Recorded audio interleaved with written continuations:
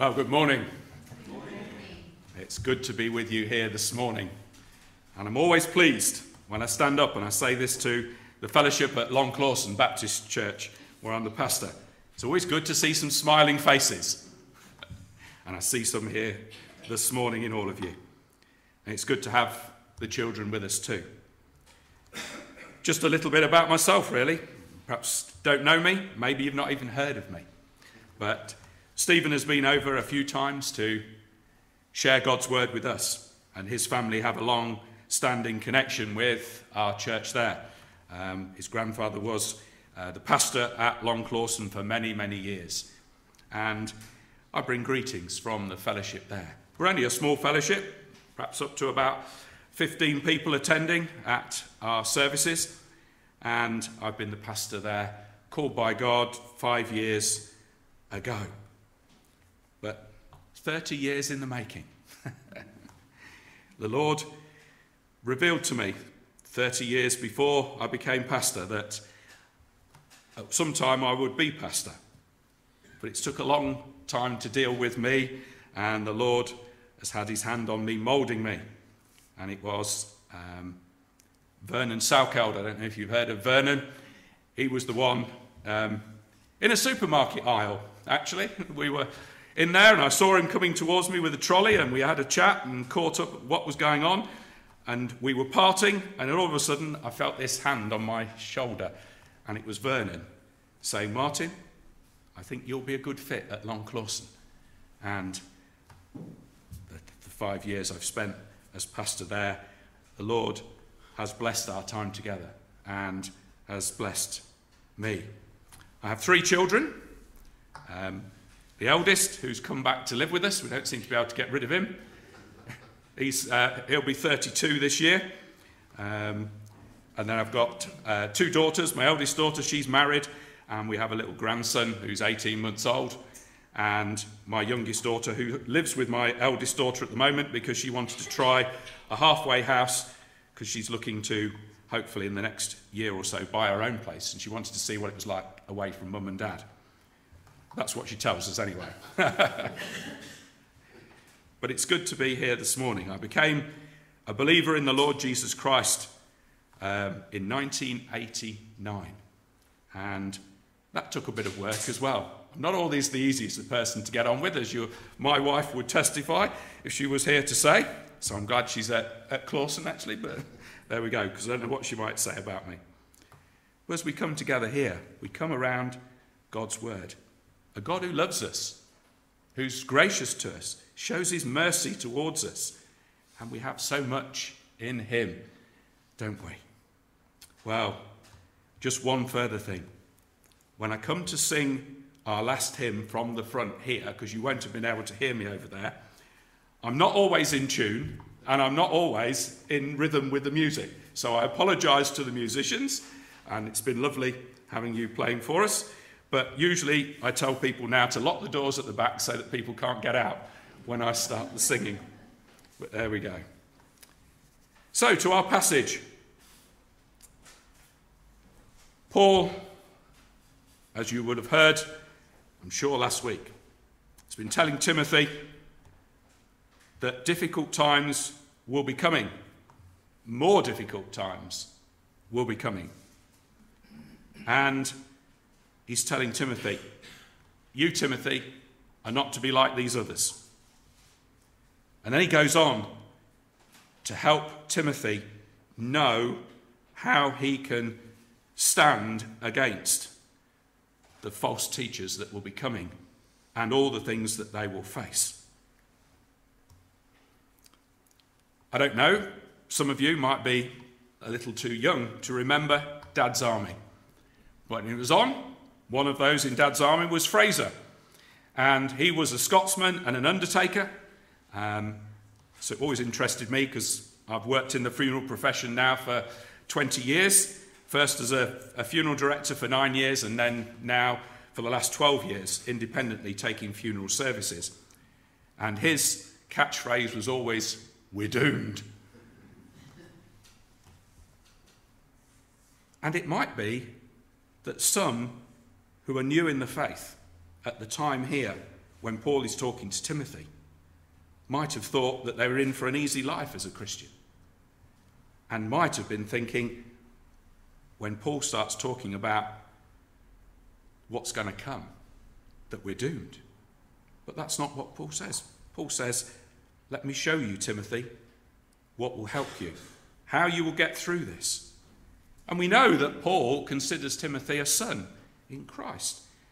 And he's been preparing him for it is Timothy who will take over from Paul and continue God's work.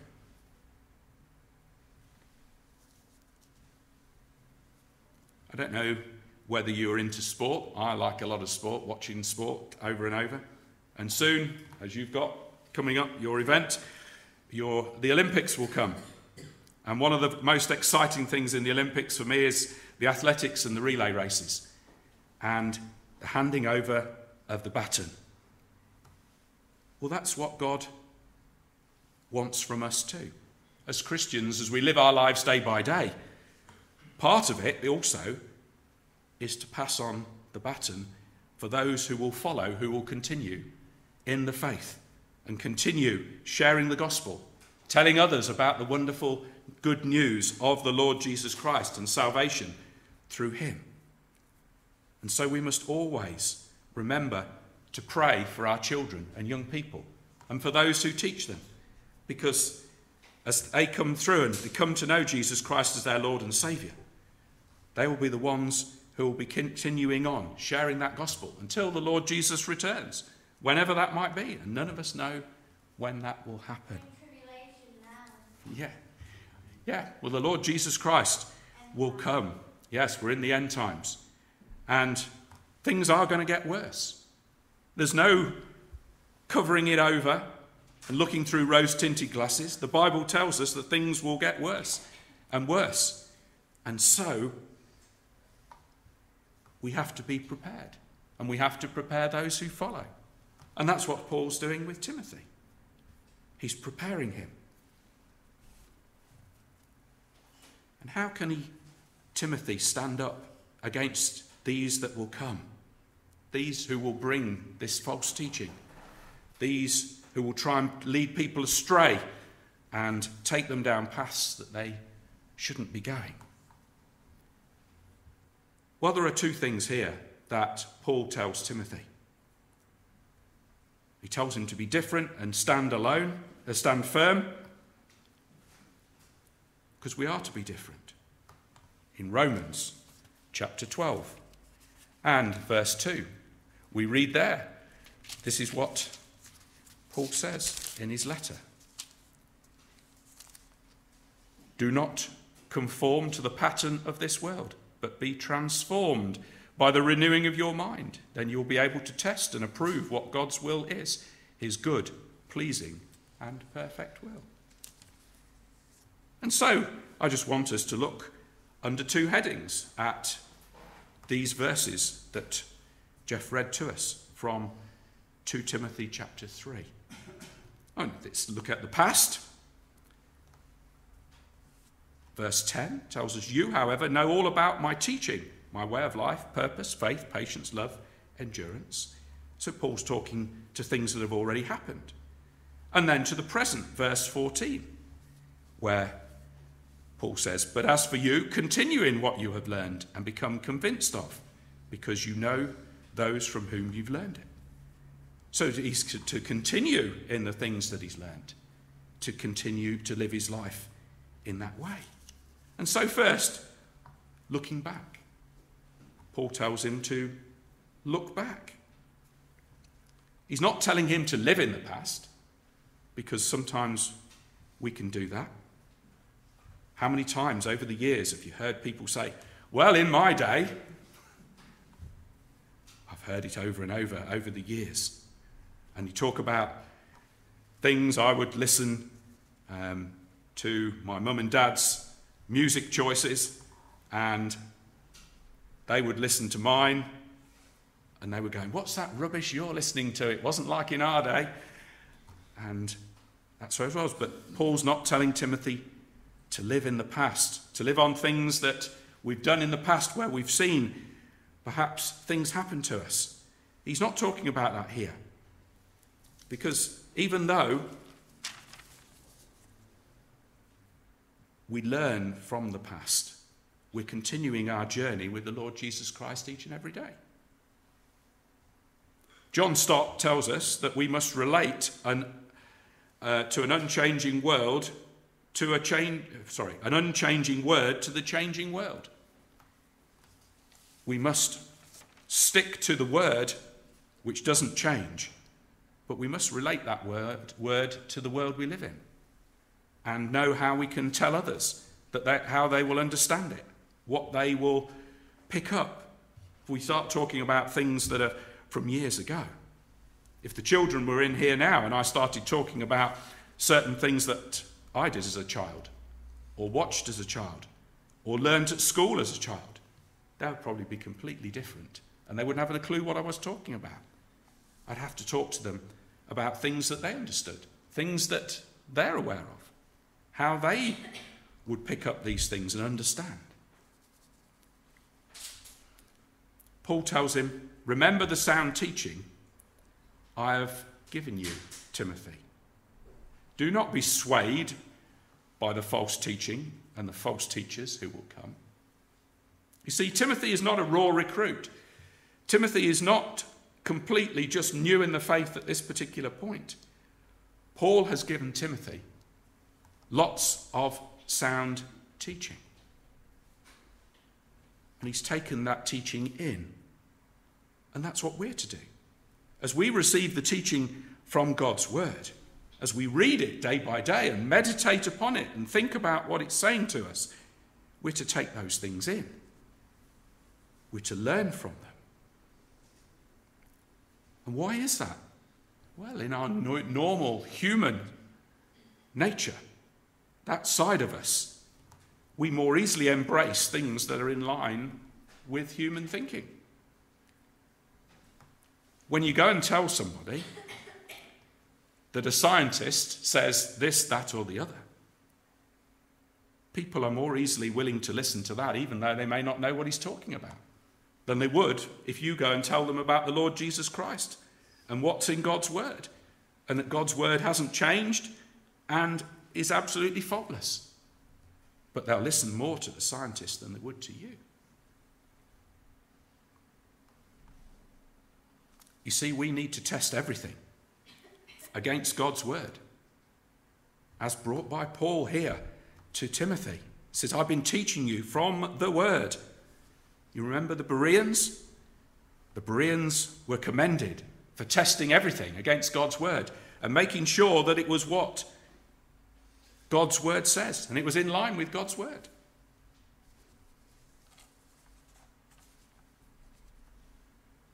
because God's word is the absolute truth. When we read it, we can rely on it because there is no errors in it, there is no fault. It is the absolute truth upon which we can stand.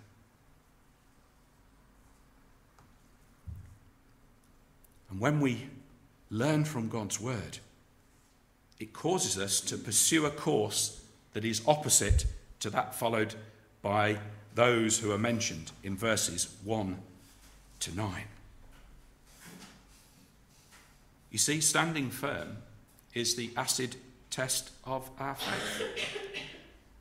As we resist the devil's schemes, as we fix ourselves upon God's truth as our anchor in our life, day by day. How do we stand up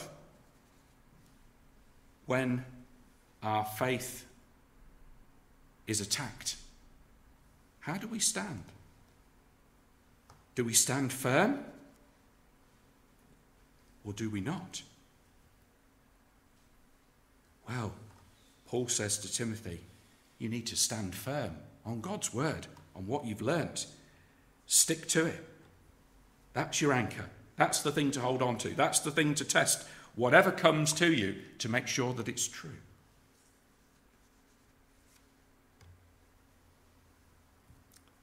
Don't know about you, but I like my food. And when people come along and say, Oh, there's this f- fantastic dish they're now serving here at this place? Well, you have to go and test it, don't you? and see what it's like. And that's testing it. Testing it. Well, when teaching comes to you, we need to test it against God's word to see that it's in line with His word. And if it isn't, then we don't follow it.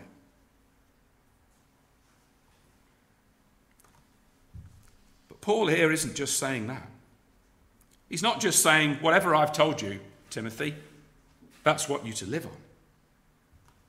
You're not just to accept and believe what I've, I'd say, but look at my life, Timothy. You've watched me live my life day by day. You know how I live my life. And you know that my life backs up what I say. And here to me was one of the greatest challenges in my life.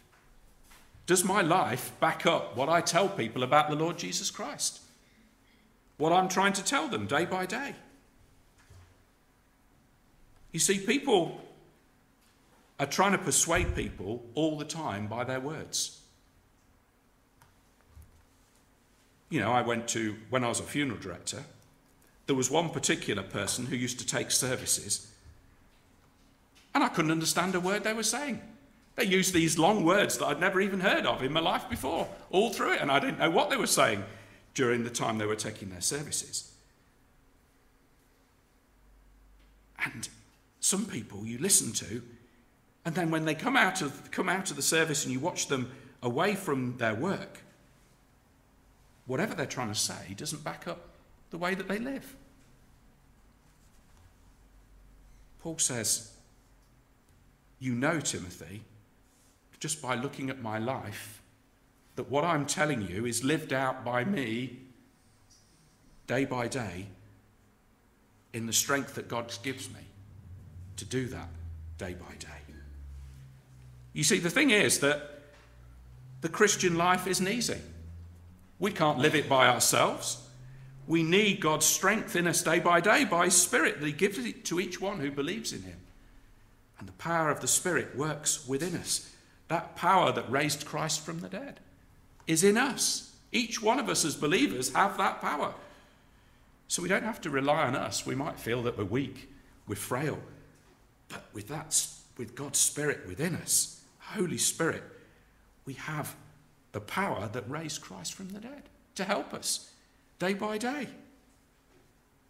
But we do have to live our lives in a way that backs up what we're trying to tell people. It's no good saying one thing and then people seeing us out of church, living our lives in a different way. We need to show people what we're telling them. And that was a challenge to me. What would people say about me? I often say that when I'm taking funeral services. I say, What would you say about this person? How would you describe them to me if I came round and talked to you? Would you say the same things as I've just been sharing with you from the family's information about their life? And what would the people around me and you say about our lives? How would they describe us? What would they say about us? Would they say that we are God's people? Would they say that we live our lives day by day? And that the Lord is the priority in our life and the way that we live our life shows how much we love the Lord day by day. Well, it's a real challenge to us. Well, Paul says to Timothy, You know. He says, You know all about my teaching, of my way of life, my purpose, faith, patience, love, endurance. Paul's lived out what he believed and has taught. But he goes on to say that's not the only thing.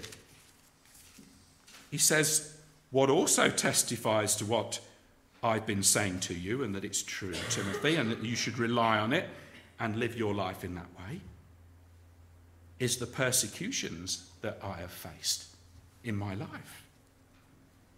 Why would I go through all these persecutions in my life, Timothy, if it was not on the basis of what I believe? And we know what Paul went through. In 2 Corinthians chapter 11, 21 to 33, it lists out all the severe suffering that Paul has gone through. Suffering that the Lord said he would go through to be his servant to the Gentiles. If you want to read it, read it for yourselves. And he says to Timothy, he says, not just believe what I tell you, but believe because of my life and also my sufferings. And then he particularly picks out the sufferings that he faced at Antioch, Iconium, and Lystra.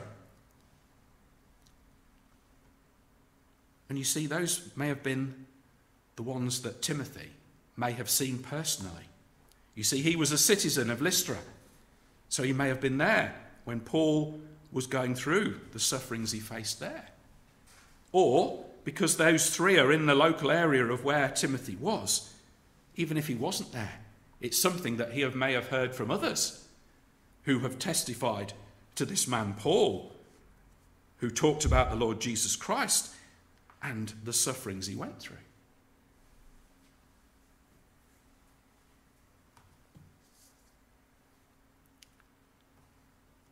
And Paul testifies, he says, You can trust the Lord, Timothy, whatever you may face. Because he says there in verse 11, Yet the Lord rescued me from all of them. All of them. He said, The Lord rescued me from all of these persecutions that I faced and that I had to endure. So, what I've told you, I've lived out. And you can see it too because I've faced all these sufferings because of what I believed and what I've told you is the truth. And I've been able to do that because of the Lord, because He has saved me, strengthened me, and helped me in all of these things. But Paul goes on to say, that it's not just me. He says, it's not just me who you can look at, Timothy, but it's others too, because you will see this in all who desire to live a godly life in Christ Jesus. We can go back to John's Gospel, chapter 16, verse 33, or chapter 15, verse 18 to 21 where the Lord Jesus tells his disciples, You will face persecutions. Because the world has hated me, they will hate you. And you will face tribulations and difficulties in your life if you're trusting in the Lord Jesus Christ. And as Jeff was telling us, that might come in various forms. Here in this country, in the main, as he said, we face very little by way of persecution. Perhaps a word here or a word there. There was a man who lived on my street I tried to tell him about the Lord Jesus Christ, Christ, and I talked to him on different subjects, and we talked quite a lot. But he made it absolutely clear. He said, Don't you go telling me about what's in the Bible and the Lord Jesus Christ, because I don't want to know. So don't even go there. And he looked at me with that stern face to say, You're going to get some kind of comeback if you keep telling me about the Lord Jesus Christ. But we don't face, as Carter and Eason faced, imprisonment, torture, and even death for our faith at this particular time. But who's to say that that might change in years to come? We, might, we need to be prepared.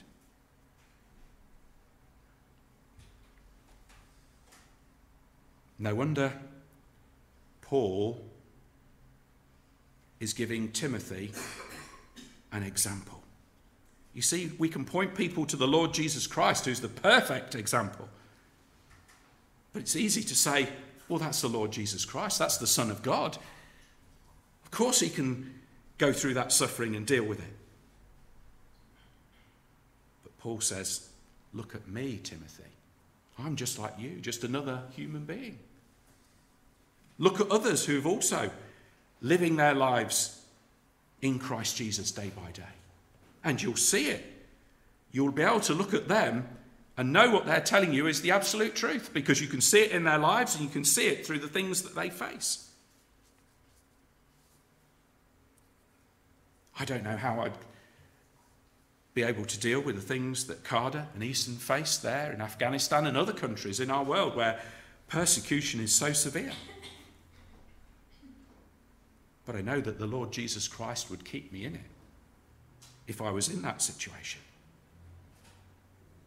But we can look to them too and not only pray for them, but they can be an encouragement to us because we see their faith and see how the Lord Jesus Christ has helped them, has been with them, has kept them through all the things that they faced. Often they're disowned by their families, thrown out of their communities and villages, lose their jobs, lose everything that they have. Yet, when they talk about their Saviour, they're so sincere about the love that they receive from God, grace and mercy, and they talk about Him in such a way. And sometimes I feel that we perhaps are not the same because we don't face those kind of things. We seem to have this, we're just going along and it's nice and easy and we, you know, we tell people, but we don't have the same impact. Perhaps because we're not living our lives in the way that God wants us to. Does our lives back that up? That's why it was such a challenge to me when I was preparing. How does my life stand up when others see me, when others see me living my life day by day?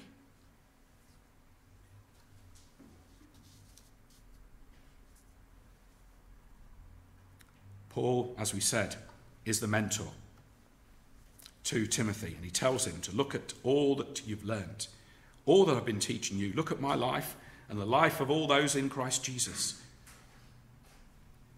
And know that what you've been told is the truth and check it against God's word. But then he tells him in the present, just quickly, the second point. Verse 14, but as for you, continue in what you have learned.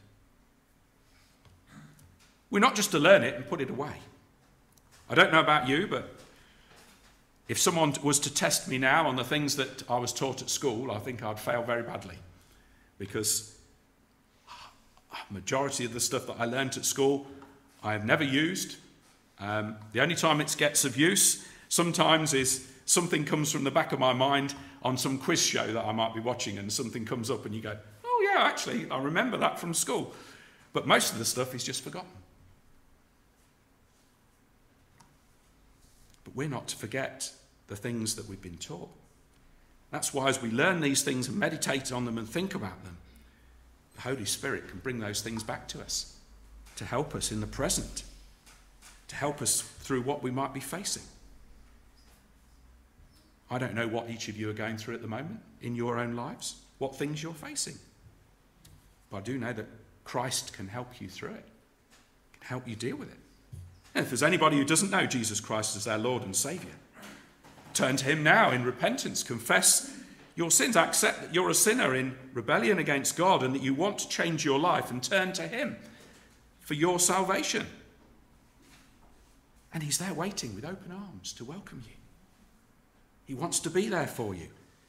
He wants to show you what He has for you, the blessings that He's got for you. And He will keep you and help you. As we said, He doesn't promise that you won't go through difficult times, but He promises He'll be there alongside you, helping you and strengthening you for whatever you might face and whatever you might need to go through. You see, the things that we learnt, the things we learn, they're to become second nature to us. They're to become automatic. When I was younger, I used to play a lot of table tennis. Um, I used to play in, in a league in Rutland and Stamford, and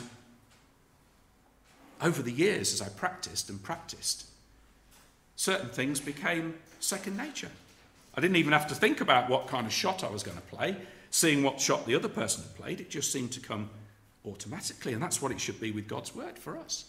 We should be able to have a situation and God's word should come to our minds. By the Spirit, we'll bring it back to us because we've learnt it. We've taken it on board. We've thought about it. You see, we need to be assured of the things that we've learned. That's why it's so important about teaching children. Because the more that they learn those things at an early age, as they go through their lives, things come back to them. You know, we were, I was had the privilege with one or two other people when I was at Welby Lane Mission in Melton of running a youth club for, for, for some of the uh, young people on our estate. We used to get about 36 young people come along. And, you know, they had some strange ideas. They thought Christians were the ones who had the dog collars. I thought, well, there weren't many Christians then, are there? if that's what they thought. But one of the things that you never knew is what they were taking away. I saw one of them, who's now in his late 20s, early 30s, who was at the youth club. And he says, We always remember you, lead, the, you who were the leaders at our youth club. And we talk about you still to this day. How you taught us the right ways to live our life and about the Lord Jesus Christ and what he'd done for us. And they haven't given their lives to the Lord, not yet. But they remember those things that we'd taught them at youth club, even, if even though they had no idea about what, who Jesus was or anything to do with the Bible. So it is. And we remember, don't we, from Paul's first letter to Timothy, how Timothy had not only learned these things from Paul, but he'd been taught them by his grandmother Lois and his mother Eunice. They had told him about the Lord Jesus Christ.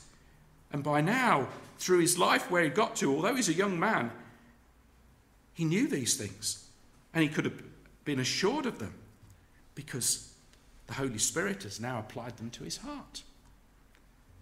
And that's what he's trying to tell Timothy in the second part. He says, How can we be assured of these things? Well, it's from where it comes. Sometimes you're able to say, by looking at people or knowing people whether you trust what they're telling you or not. You can look and go, mm, I'm not sure about that's right, what they're telling me. Paul says, as you live day by day, you can be assured because we are bringing you the authority of God's word. This is not something that's made up by man.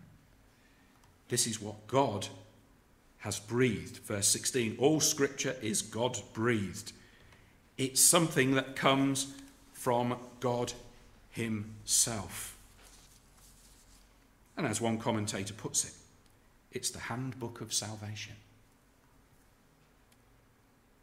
You see, we cannot know from human exploration or discovery the way of salvation. You can read about it. But it only becomes true when it reaches into your heart. And that's not the pumping thing in the middle of our bodies, it's the inner us. When the Spirit brings it home to our hearts, convicts us of our sin. That's when it becomes real. So it doesn't matter how much people study the Bible, if they don't know Jesus Christ as their Lord and Saviour and the Holy Spirit has not come into their lives, they'll not know the truth that God wants to reveal from His Word, the truth of salvation. It's not only is it all from God, all scripture is God breathed, so every single word in God's word is from God Himself.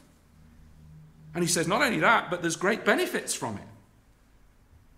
It's useful for teaching, rebuking, correcting, and training in righteousness.